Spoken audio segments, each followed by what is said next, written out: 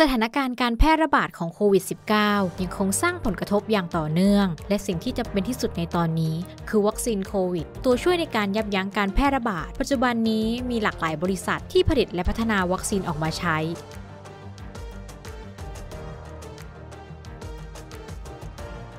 และหนึ่งในวัคซีนป้องกันโควิด ที่ภาคเอกชนให้ความสนใจมากที่สุดตัวหนึ่งในปัจจุบัน คือวัคซีนโนวาแว็กซ์ล่าสุดสำนักงานคณะกรรมการอาหารและยา หรืออย. ได้อนุมัติการขึ้นทะเบียนใช้งานในกรณีฉุกเฉิน ให้กับวัคซีนโควิด แบบมีโปรตีนเป็นพื้นฐานของ Novavax แล้ว และมีอีกชื่อหนึ่งว่า Novavax CoV2373 ภายใต้แบรนด์ Covovax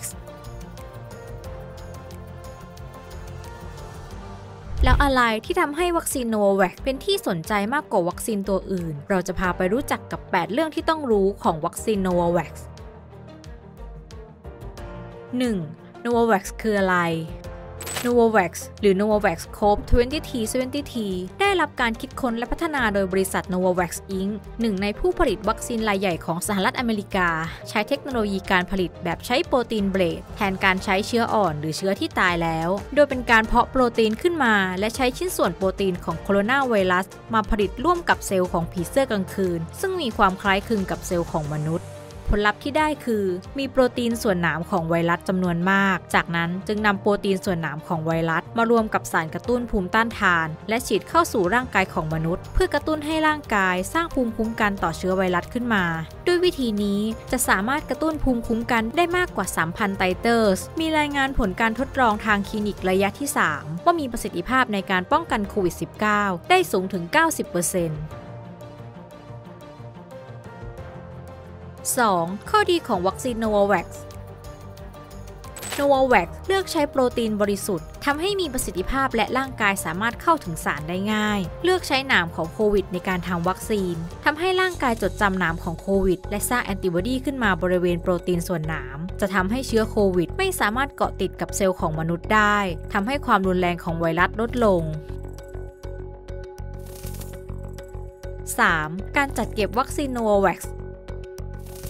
วัคซีนโนวาแวกซ์ไม่จำเป็นต้องเก็บในอุณหภูมิที่ต่ำมาก สามารถเก็บในอุณหภูมิตู้เย็นปกติ 2-8 องศา ซึ่งถือเป็นข้อได้เปรียบมากกว่าวัคซีนประเภท mRNA อย่างไฟเซอร์หรือโมเดอร์นาที่ต้องเก็บในอุณหภูมิที่ต่ำมาก ๆทำให้อาจเกิดปัญหาด้านการขนส่งได้ นักวิจัยสามารถเปลี่ยนชนิดโปรตีน เพื่อรองรับไวรัสกลายพันธุ์ที่อาจดื้อยาได้ทำให้สามารถพัฒนาวัคซีนให้มีประสิทธิภาพ สู้กับเชื้อโควิดกลายพันธุ์ได้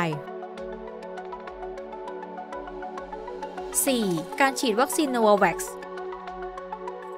วัคซีนโนวาแว็กซ์จะใช้ 2 โดส โดยการฉีดเข้ากล้ามเนื้อทั้ง 2 โดส ห่างกัน 21 วันหรือ 3 สัปดาห์ 5. อายุของผู้ที่ต้องการฉีดวัคซีนโนวาแว็กซ์โนวาแว็กซ์สามารถฉีดได้กับคนที่มีอายุตั้งแต่ 18 ปีถึง 84 ปี และสามารถฉีดได้ในผู้ที่มีโรคประจำตัว 6. ประสิทธิภาพของวัคซีนโนวาแว็กซ์ตอนช่วงเริ่มการทดลองระยะแรกใช้กับประเทศสหรัฐอเมริกา เมื่อเดือนพฤษภาคมคิศักราช 2020 และทำการศึกษาทดลองครั้งที่ 2 และ 3 ในหลายประเทศ เช่น สหราชอาณาจักรแอฟริกาใต้ ออสเตรเลีย เม็กซิโก ได้ผลลัพธ์ออกมา คือป้องกันโควิดสายพันธุ์ต่าง ๆ ได้ค่อนข้างดี ป้องกันความรุนแรงของโรคโดยรวมได้ 90.4%ป้อง กันอาการป่วยรุนแรงได้ 100%ป้องกันเชื้อโควิดสายพันธุ์ดั้งเดิมได้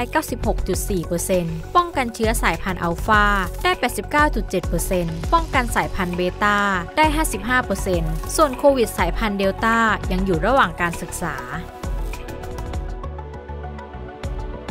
7. ผลข้างเคียงหลังจากฉีดวัคซีนโนวาแวกซ์ผู้ที่ได้รับวัคซีนโนวาแวกซ์จะมีอาการคล้ายกับวัคซีนชนิดอื่น เช่น มีไข้ หรือมีอาการคล้ายไข้หวัดใหญ่ อ่อนเพลีย ปวดเมื่อยตามร่างกาย ปวด บวม แดงบริเวณที่ฉีดบางราย อาจมีอาการปวดศีรษะ ส่วนอาการของผลข้างเคียงอื่น ๆ อาจจะต้องติดตามและศึกษาดูอีกครั้ง หลังจากได้ฉีดให้กับประชากรในจำนวนที่มากขึ้น 8. ข้อห้ามสำหรับการฉีดวัคซีนโนวาแว็กามฉีดโนวาแวกในผู้ที่มีอายุต่ำกว่า 18 ปี ห้ามฉีดให้แก่ผู้หญิงที่อยู่ระหว่างการตั้งครรภ์ ห้ามฉีดให้แก่ผู้ที่มีอาการแพ้วัคซีนรุนแรงจากครั้งก่อนๆ ห้ามฉีดให้แก่ผู้ที่แพ้ส่วนประกอบของวัคซีน และห้ามฉีดให้แก่ผู้ที่มีอาการภูมิแพ้รุนแรง ท้ายที่สุด การได้รับวัคซีนไม่ว่าจะเป็นยี่ห้อใดก็ตามนั้น เป็นเรื่องสำคัญมากกับการใช้ชีวิตในปัจจุบัน เพราะตอนนี้ก็ไม่มีใครยืนยันได้เลยว่าโควิดจะอยู่กับเราไปอีกนานแค่ไหน หรือเราอาจจะต้องอยู่กับโรคนี้ตลอดชีวิตเลยก็อาจจะเป็นได้